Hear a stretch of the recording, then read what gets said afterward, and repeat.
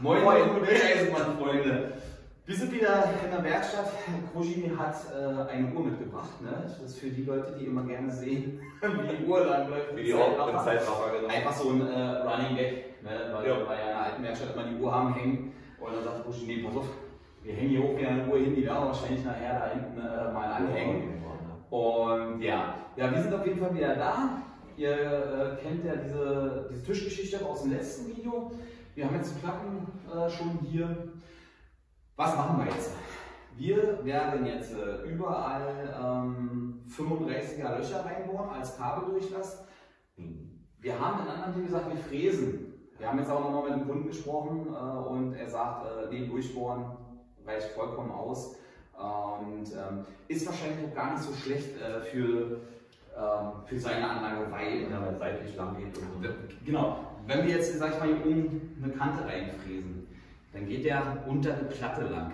Ja? Das heißt, er zieht das meiste unter die Platte. Bohren wir jetzt aber ein Loch von hier rein, kann er sozusagen hier an den Kanten lang gehen und umso weniger Kabel ist unter der Platte, umso weniger Probleme hat man nachher, wenn man jetzt ich mal, von oder so. Ja? Also es gibt die beiden Varianten. Äh, in einigen Fällen sind Aussparungen nicht verkehrt. Ja, da muss ich aber ganz ehrlich sagen, das macht sich natürlich mit der CNC-Fräse deutlich besser, als wenn wir das Also, einzeln nachfräsen, weil das wird nicht so genau. Und äh, ja, genau.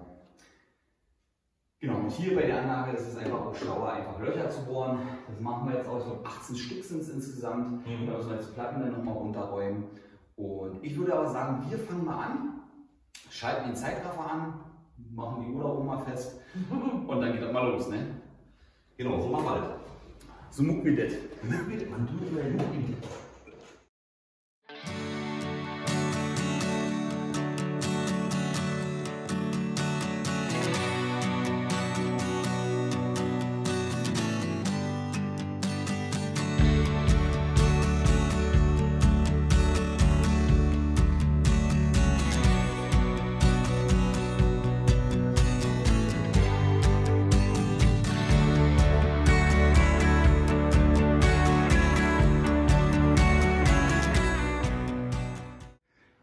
so.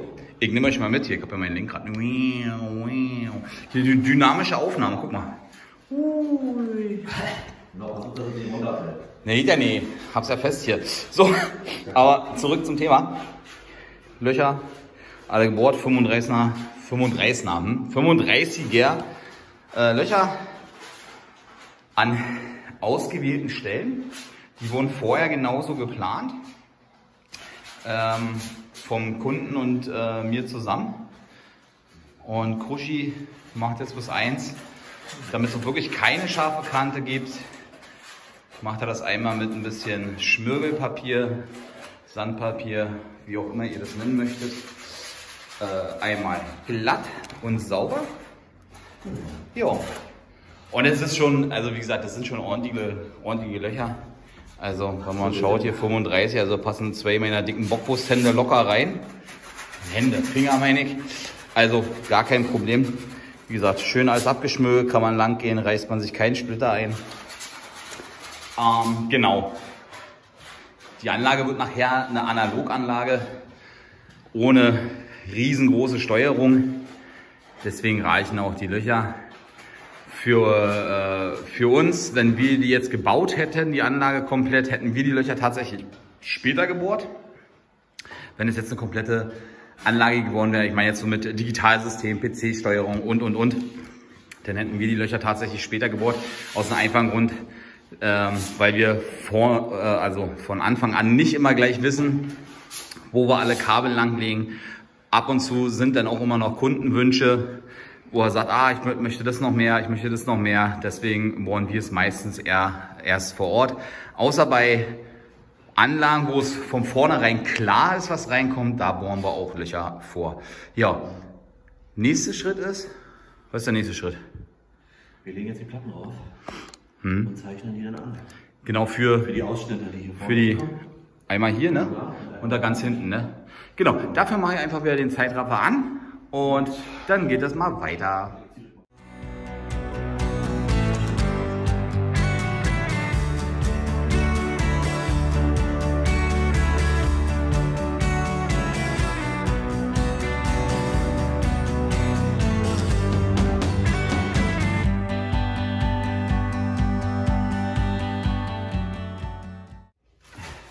Jo.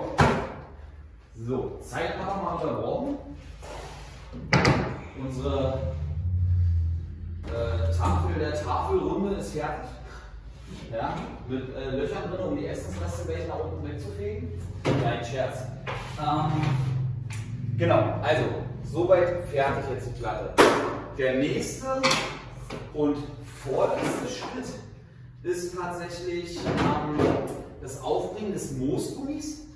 Das äh, machen wir jetzt noch auch nochmal im Zeitraffer. Und danach ähm, ja, wird es demontiert und dann äh, noch weiter. Dann haben wir, dann ist es abholbereit. Also ich würde wieder einen Zeitraffer anmachen Mhm. und dann äh, ja, geht das los. Jetzt überlege ich gerade. Wir müssen ja tatsächlich, ich glaube, das ist jetzt schlauer, wenn wir die Module gleich auseinanderbauen. Weil Wegen den Schnitten. hier ist die Schnittkante. Genau. Also, nächster Schritt. Wir bauen das jetzt auseinander, kleben dann den Moosgummi rauf und dann schrauben wir nur noch die, äh, bezeichnen wir die Füße und dann äh, passt das. Also, Zeitraffer an und viel Spaß euch.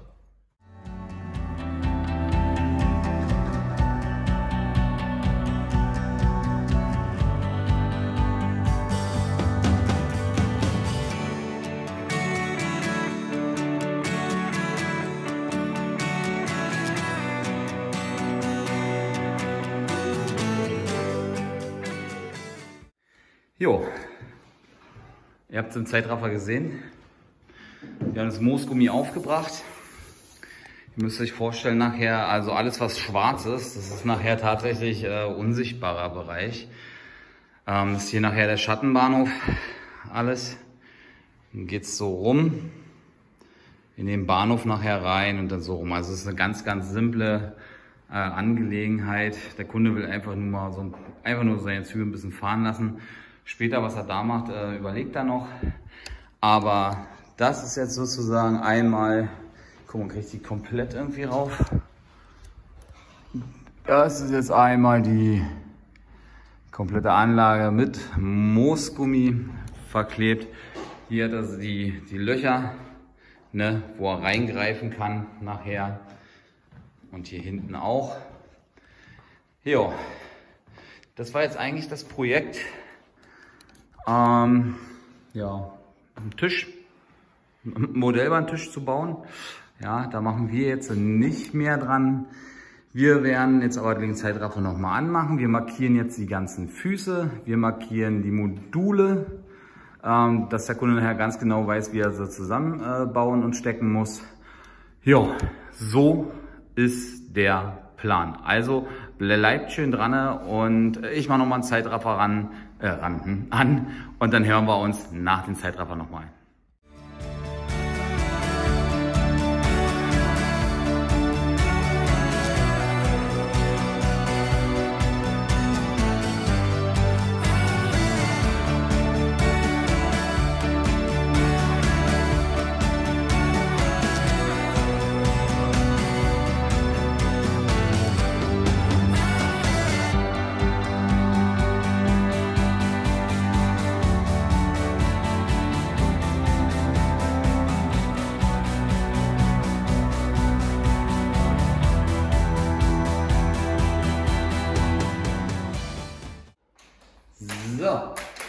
Zeitraffer beendet. Und ja, jetzt wollten wir euch einmal äh, ganz kurz noch zeigen und äh, was gesagt sagen. Einfach mal nur ja, zur Interesse, was da eigentlich so an Material drauf geht. Ähm, genau, fangen wir einfach mal an. Wir fangen mal an mit dem Holz. Wir fangen mal an mit dem Holz. Da haben wir insgesamt 18 Bretter gebraucht, ähm, die eine Stärke von 15 mm haben, eine Länge von 2,50 Meter und eine Höhe von 12 cm. Da haben wir insgesamt 18, 18 Stück von gebraucht. Wir haben Pappelsperrholz in 10 mm gebraucht. Ähm, einmal 80 x 120 cm, einmal 180 x 120 cm, nee, da war zweimal, zweimal 180 x 120 einmal 60 mal 120 und einmal 140 mal 80 als Platte. So, Das ist das Holz, äh, was wir brauchten. Dann brauchten wir 18 Füße insgesamt. Die äh, schneiden wir jetzt zurecht aus einem 3 Meter ähm, äh, Leimholzbinder, Regalstollen. Regalstollen, Ähm, da kriegen wir drei Stück von raus. Da haben wir, da weiß ich jetzt gar nicht, wie wir haben. 92,5 sind die jetzt lang. Genau, 92,5 sind dann da, weil das drei ausweg, 18 Stück haben wir davon. Mhm. Wir haben insgesamt äh, 18 Lenkrollen auch mit Bremse gebraucht. Somit haben wir erstmal das Holz, die Füße und die Rollen. So, dann machen wir einfach mit dem Moosgummi weiter. Moosgummi haben wir ähm, circa 5 Quadratmeter äh, verbraucht. Ne? Circa, Ja, 5, circa, ja. circa 5 Quadratmeter. Und dann kommen wir mal eigentlich zu den ganz spannenden anderen Sachen. Ich habe hier meinen Spickzettel. Ähm, Senkkopfschrauben, 40, nee, 4x40 haben wir 192 Stück gebraucht. Senkkopfschrauben 3x30, 225. Äh, Schrauben äh, mit Vollgewinde M8 mal 40 oder 80? 80. haben wir für 44 Stück gebraucht. Ähm, die M8 äh, mal 40 haben wir ähm, 36 äh, Stück gebraucht. Was haben wir denn hier? Da sind sie doppelt drin. Was ist denn das hier? Muss ich da gerade mal gucken, was ich hier schon wieder reingeschrieben habe. M8 mal 80. Äh, das müssen wir rausnehmen. Äh, Mache ich erstmal weiter. Okay, Unterlegscheiben haben wir 140 insgesamt gebraucht, Flügelmuttern 70. Ähm, ja, das war's tatsächlich.